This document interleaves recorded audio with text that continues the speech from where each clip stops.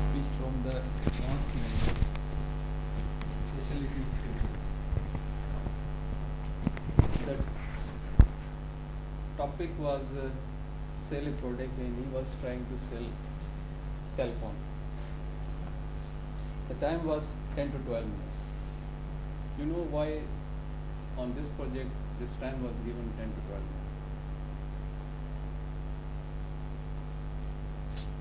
10 to 12 minutes was for a presentation. There is a difference between the presentation and monologue. The go- days are gone when you are you were supposed to sell one to one. Now this world is of presentation, and you must use know how the new car is sold? When the new car is new model is coming, then there is a gala gala ceremony. So there has to be some uh, pro drama, some some suspense, some music, something, something different, something different. So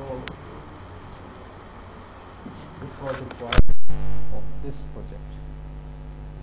You tried your level best. You tried your level best to sell a cell phone, but probably nobody was interested.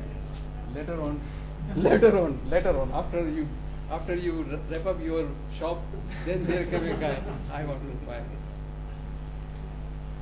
This is a very special project, and why I am emphasizing because I, I I also did this one, and Mr. Nazir White uh, evaluated me three times, three times, and I got the tips of real presentation. What what is the meaning of the presentation? Selling a product. So my advice would be, sir, repeat it and come up with some something different. No monologue, no speeches, some some video and some music and something ah.